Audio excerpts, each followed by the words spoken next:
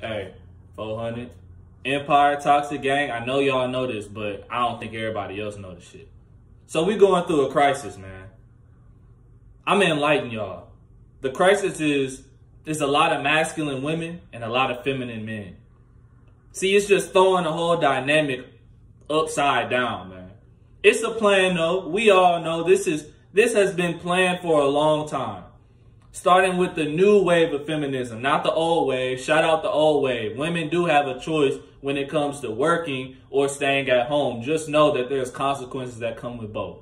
But I agree with that. You deserve a choice. But new feminism is aiming to demasculate men and masculate women. What the fuck? As a masculine man, I am not dealing with a masculine woman.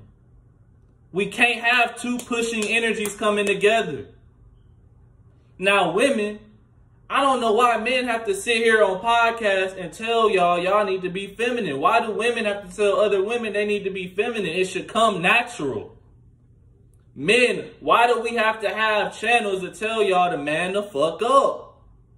You don't feel good being feminine? You don't feel good having your wife take advantage of you? Bossing you around like you a fucking kid?